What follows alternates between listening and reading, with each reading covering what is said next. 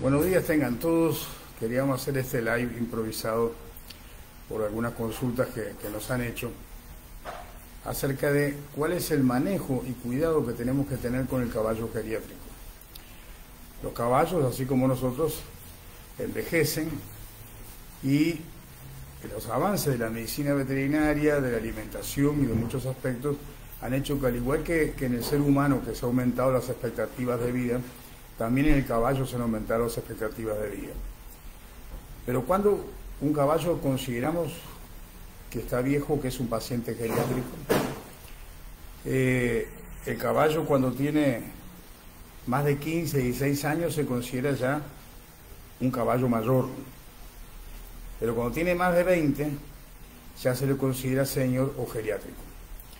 Aunque hay caballos que sobrepasan los 25, 30 años de edad en, en la vida. Los caballos, al igual que nosotros, envejecen de forma diferente.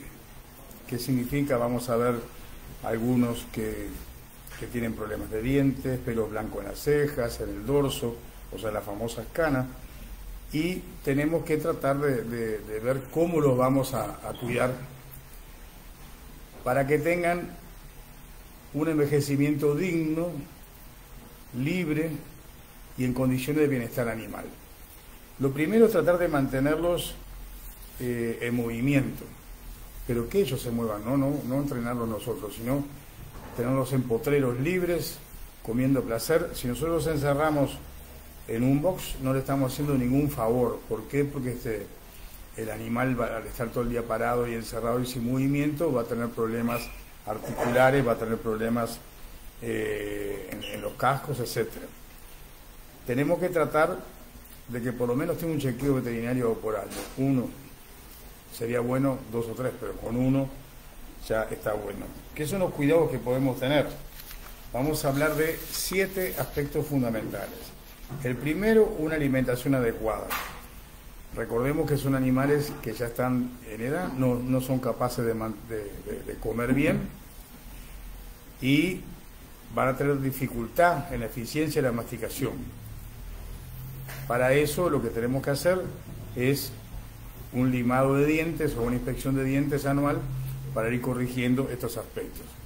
El segundo, comprobar que se pueden hidratar y que tengan acceso a agua limpia. El agua tiene que ser limpia y tenemos que tener el bebedero, siempre decimos, abajo para que puedan tomar el agua en pequeños sorbos, no tomar grandes cantidades tenemos que tener un refugio, no, no tanto el box, sino que haya eh, en el potrero en que está lugares con sombra o le hacemos un lugar con sombra, ya sea con cinco, con haya sombra, para que se pueda resguardar del sol, del viento y de la lluvia. El cuidado de los cascos es fundamental, tenemos que revisar y cuidar los cascos uno o dos veces por año, no hay necesidad de errarlo, simplemente para que las articulaciones y tendones tengan un buen apoyo y no desarrolle artrosis o tendinitis. Las vacunaciones son las mismas. ¿Por qué? Porque ellos también son pasibles de enfermarse por enfermedades virales como influenza, como, como encefalitis o bacterianas como, el tétanos. Entonces hay que vacunarlos por lo menos una vez al año. Desparasitarlo es bueno realizarlo un muestreo una o dos veces por año de materia fecal, a ver cómo están de parásitos y ahí seleccionar el antiparasitario eh, correspondiente. Y como le decía, el cuidado de los dientes, tratar de evitar los problemas dentales con una revisión uno o dos veces por año eh, de la dentadura y el limado o corrección posterior que sea correspondiente. Con estas eh, pautas nosotros nos aseguramos de tener un buen tratamiento y un buen cuidado del caballo que tantas cosas nos dio en su vida y que tenemos la obligación de que tenga el final de su vida en una forma feliz, saludable y en condiciones de bienestar animal. Será hasta la próxima, si Dios quiere.